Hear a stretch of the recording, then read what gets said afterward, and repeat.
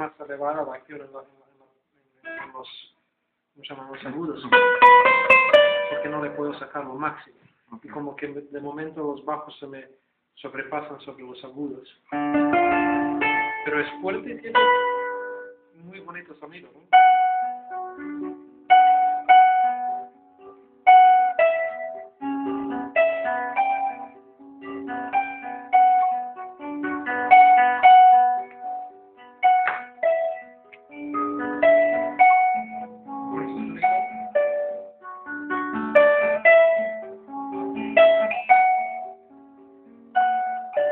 Muy buena guitarra. ¿Quién lo ha hecho?